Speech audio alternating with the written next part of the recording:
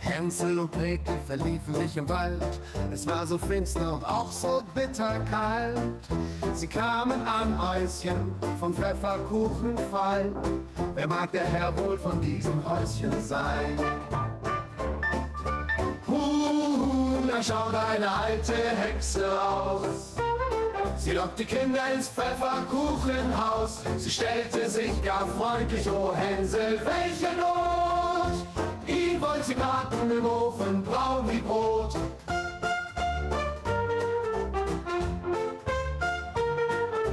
Doch als die Hexe zum Ofen schaut hinein, ward sie gestoßen von unserem Gretelein. Die Hexe musste braten, die Kinder gehen nach Haus.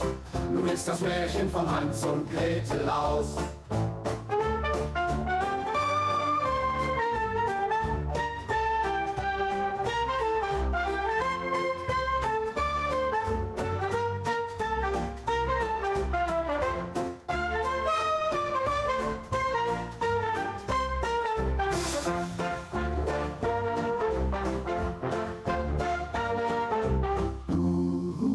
Da schaut eine alte Hexe raus.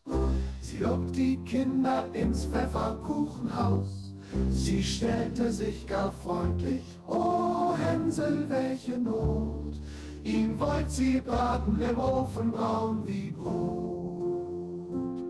Doch als die Hexe zum Ofen schaut hinein, ward sie gestoßen von unserem Gretelein. Hexe musste braten, die Kinder gehen nach Haus.